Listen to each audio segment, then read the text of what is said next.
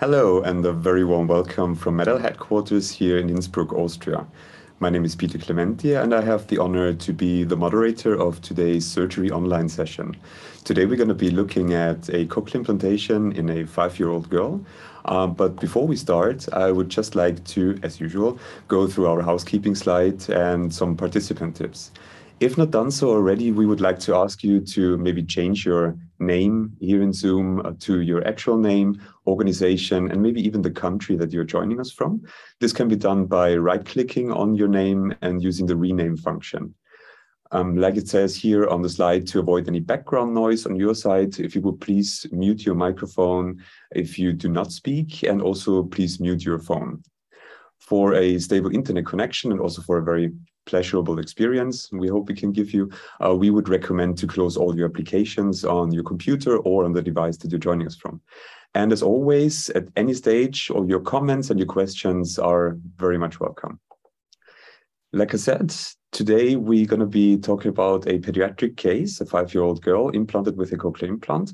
And it is my pleasure to also welcome our speaker, Dr. Markus Wirth. He's an otolaryngologist and cochlear implant surgeon from Munich, from the Klinikum Rechts der Isar.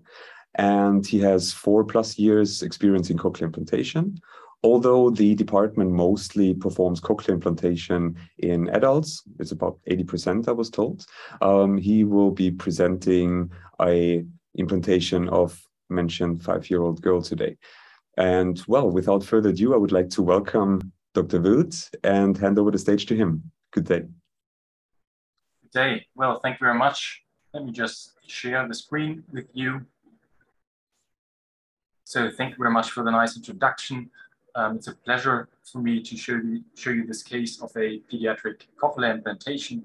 But before I give you some more background information on the case, I would like to tell you where I'm located at. I'm sitting right now at Klinikum Rechts der Isar, which is part of the Technical University in Munich. And we are having a dedicated hearing center, which is part of the ENT clinic. I'm just showing you the physicians where you have course, audiologists, speech and language therapists, and engineers at the Hearing Center.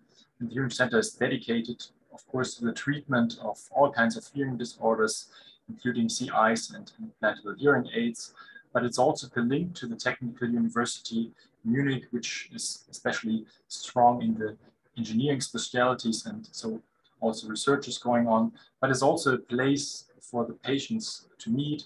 We have a self help groups meeting there. We have several events. And one event that I in particular like is called Cochlear Implant Meets Classic. And it is an event where young musicians are playing for CI users. It is in collaboration with Live Music Now organization, which was founded by Yehudi Menuhin. And I really like this monthly event because I like to listen to the music, but it's also very enjoyable to see that the CI users are also like to listen um, to the classic music. So with that being said, I would like to give you some background information, introduce the case to you. It's about a five-year-old girl with a bilateral sensorineural hearing loss, basically since birth. She has hearing aids since her first year of age, and she has a progressive hearing loss. Um, her hearing aids were insufficient for speech perception and that's why she came this year for the first time to our center to ask for a cochlear implant. She had new hearing aids, which were introduced two years ago and also fitted for several times.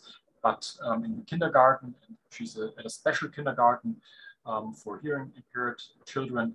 Um, the caregivers told us that the speech perception was insufficient with um, the hearing aids. She is a carrier for Pendred syndrome. Both parents are single-sided CI users, and the genetic testing did not re reveal any other cause for the hearing impairment.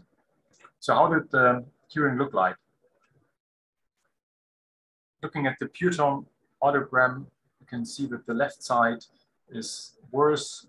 She has a Pure-Tone average of lower than 90 decibels and the functional gain on the left side lies um, below 45 decibels except of 250 hertz.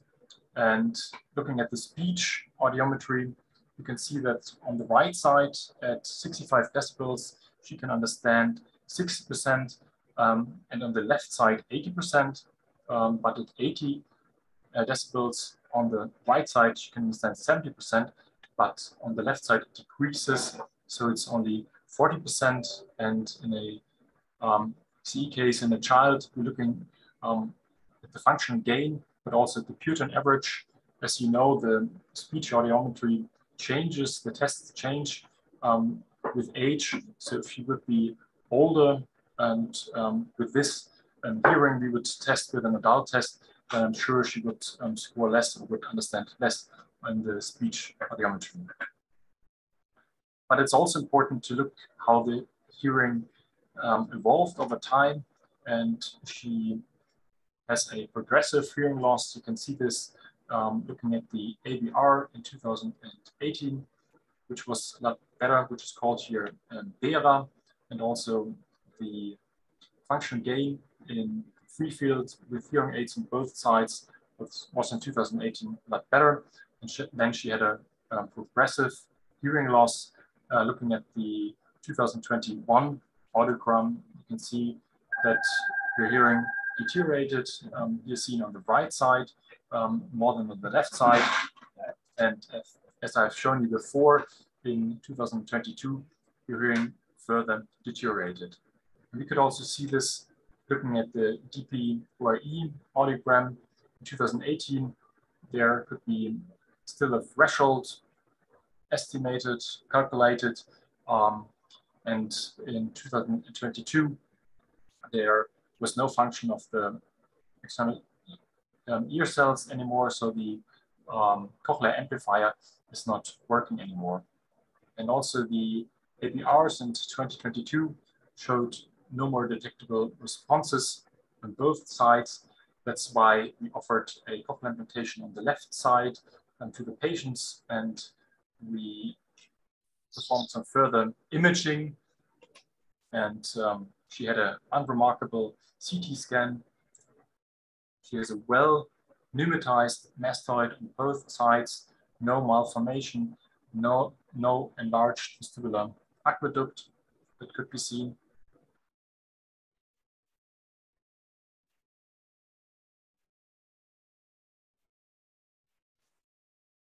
And also looking at the MRI scan, at the CISS sequence, you can see that the cochlea is fluid filled and there was a normal cochlear nerve and also no malformations shown in, on the MRI scan. So we calculated the cochlear duct length using the Otoplan software, and it was 35 millimeters long to then design or choose the electrode, and we chose a Flex 28 electrode because it matched well the estimated frequencies um, in the cochlea. And I would like to now switch over to the video of the surgery.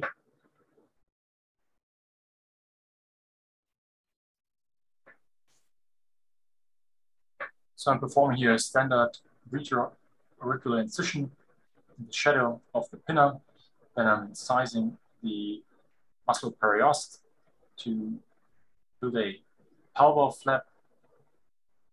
And I'm also already preparing the tight subperiosteal pocket for the implant.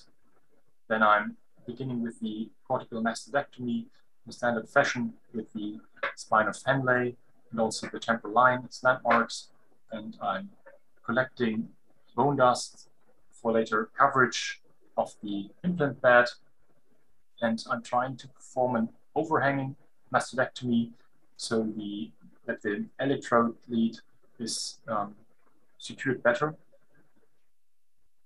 And the landmarks here are again the tegmen, then the sigmoid sinus, and also the lateral semicircular canal, which will,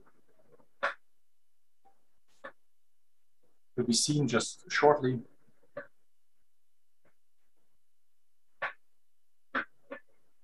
removing the Koerner septum here.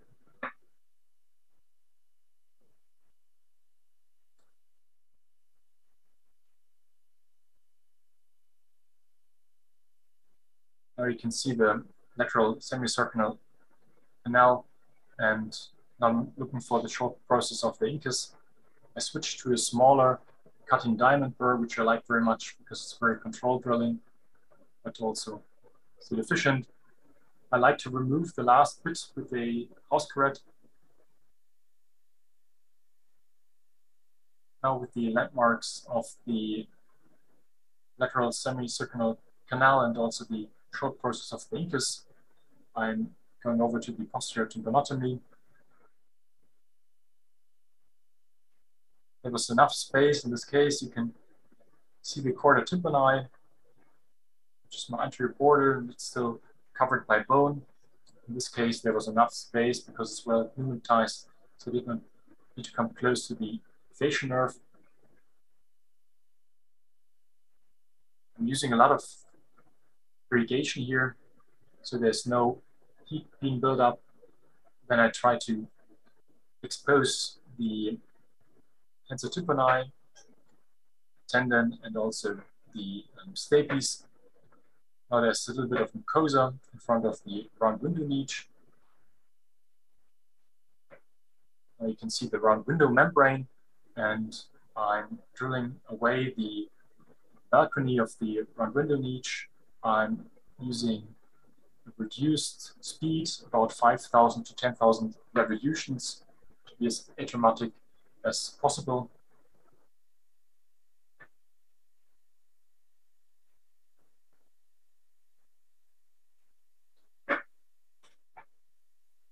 Now, once the round window membrane is exposed sufficiently, I'll put some cotton there, which is soaked in prednisolone.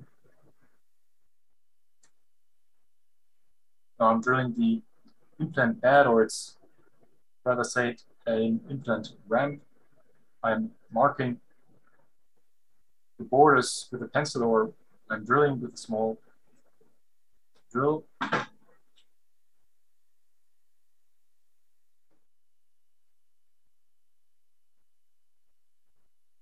like to build a, a channel. I don't like to build the tunnel anymore, which I used to do before. Because then I need to funnel the electrode through and there can be some bone dust on the, on the electrode. Now I inserted the implant and I'm opening the round window membrane in an anterior inferior direction to not injure basilar membrane. I'm switching to the lowest magnification. I like to grasp the electrode with the angled watchmaker's forceps. Um, I'm orienting the electrode towards the modiolus. And I think this small dot is very helpful for this. Now I'm very slowly inserting the electrode. The angle could be a bit steeper to be more lateral wall and to be more atraumatic. This video is now more than two and a half times faster than the actual insertion. So I'm, I'm being quite slow here.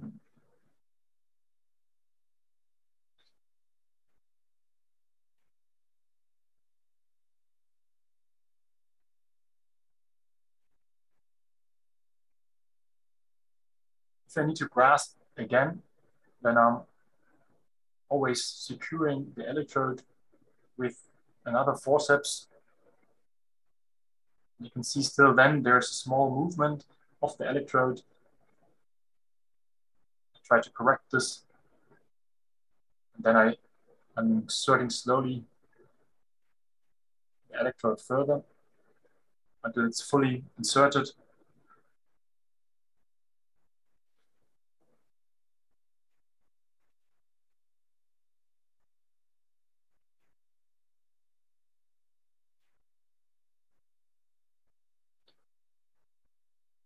Placing the extra lead behind the overhang of the mastoid cavity. And again, they are securing the electrode that there's no movement of the electrode inside of the cochlea. I'm sealing the cochlea or the round window opening with connective tissue.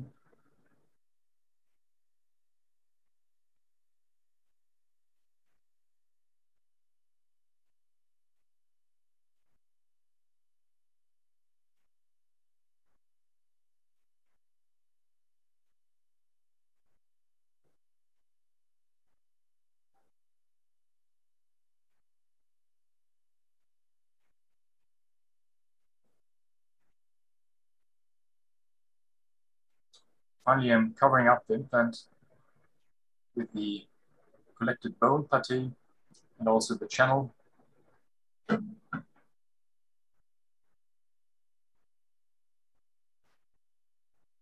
my view, the implant bed could have been a bit further away from the mastoid cavity, but I was drilling with a microscope, which makes it more difficult to drill under under the skin. I'm also covering the mastoid in the lower part at the mastoid tip, but I'm trying to not cover up the actual electrode, to not touch the electrode with the bone putty in case the electrode needs to be removed at any later stage. Then I'm suturing the musculoperiosteal flap. And in children, it's particularly important to use small and fast absorbing sutures like five or six mil micro rapid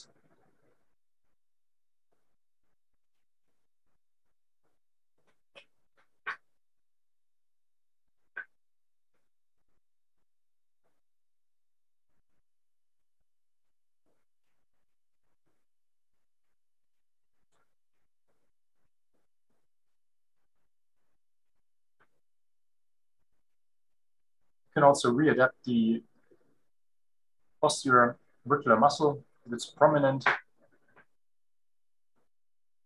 Then I'm performing the subcutaneous suture.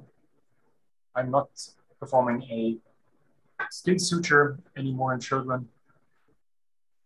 I use glue, which makes the life more easy for the patients, the parents, but also uh, for me.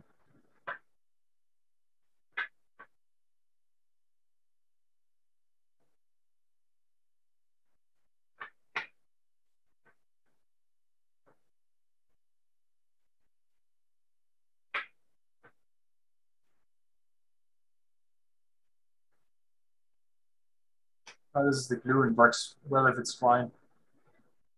We perform the telemetry parallel to the implantation. And also we are measuring the ECAPS. And we ask the patient to send us pictures after they are discharged on a weekly basis um, so we can control the wound. And um, patient was now activated um, for the first time, um, we do this three to four weeks post-operatively, and um, that's why the functional gain is still quite low. Um, fortunately, she only lost a little bit of the hearing, and uh, as you can see on the post-op audiogram compared to the pre-op audiogram. And with that being said, I thank you for your attention, and I'm looking forward to the discussion.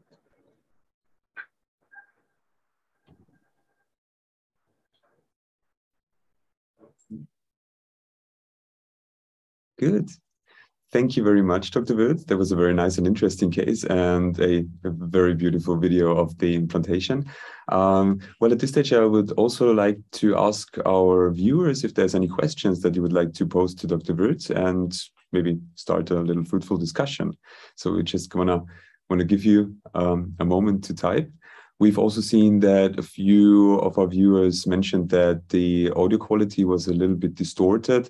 Um, yeah, we, we're very sorry about this. Um, it, it's hard to change anything on our side here. everything sounded nice and, and crisp, but maybe it also might depend on the device that you're using.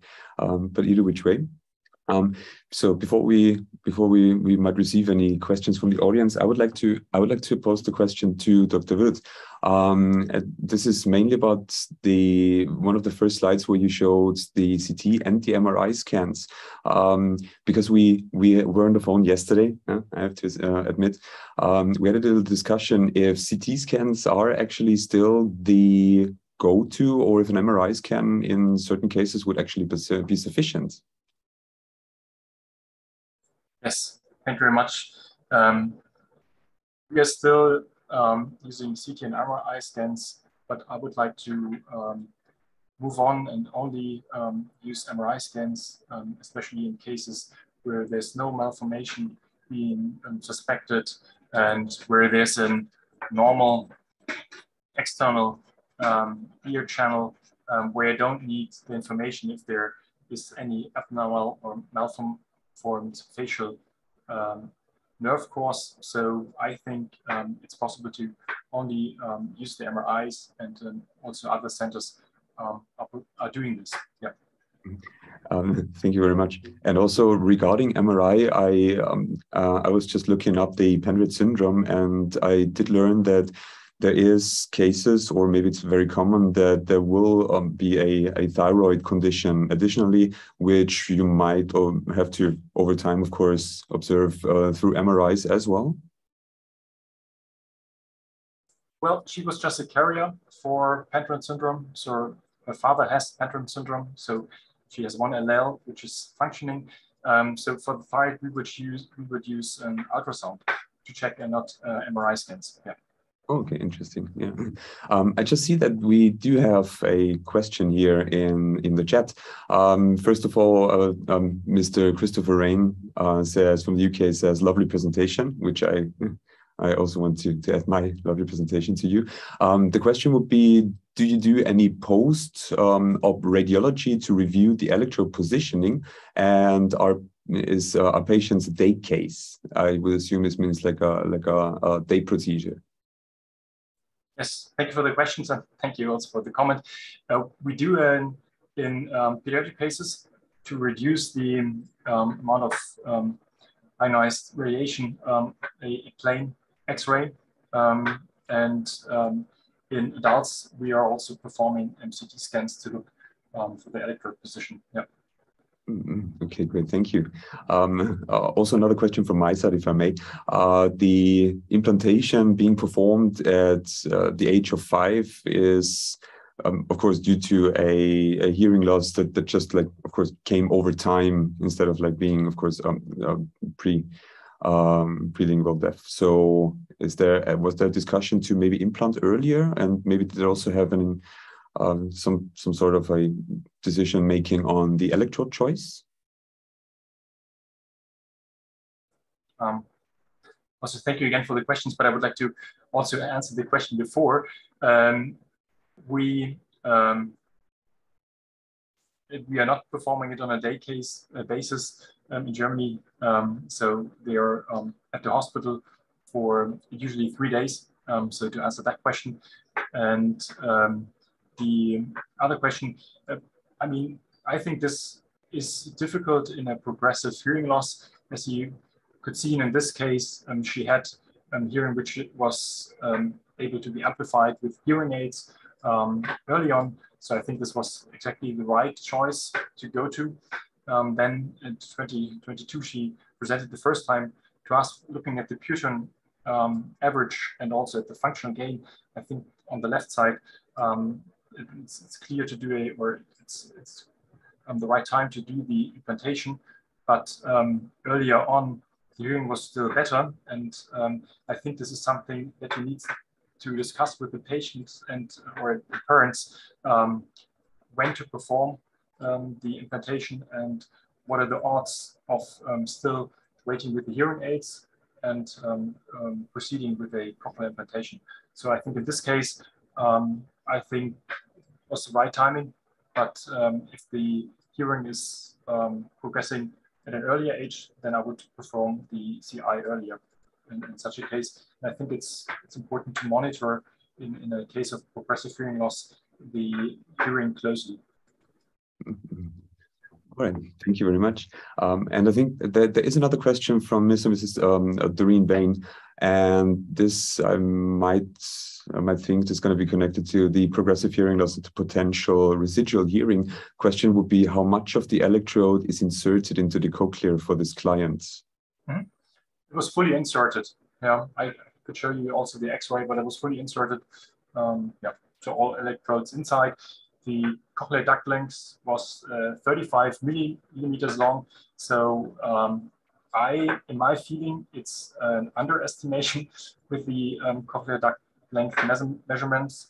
Um, usually, um, it's, in my view, a bit, bit larger, but um, we could also discuss if he, in such a case, are inserting a flex soft with 31 millimeters, but I think this is um, yeah rather academic because it's only three millimeters um, difference. The um, Flex 28 is maybe a little bit more atraumatic, which is um, important for the hearing preservation.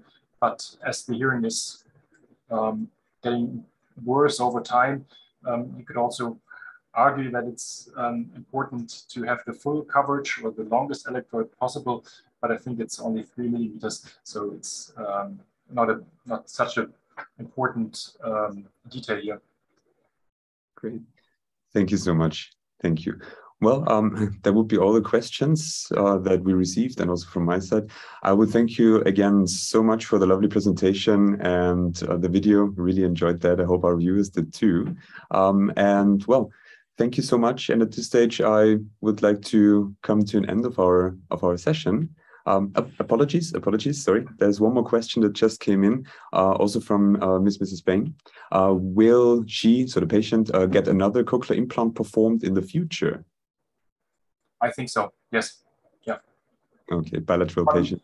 Probably just uh, a matter of time. And um, we didn't tell you, we just activated her. Um, this was the first case I could film after Meta asked me to, to uh, present um, a case. So I don't have further data um, after three or six months, but she already um, said that um, she um, had a good benefit of the um, cochlear implant compared to the hearing aid before, and she was very happy. So I think, yeah, uh, we will implant also the other side in the future.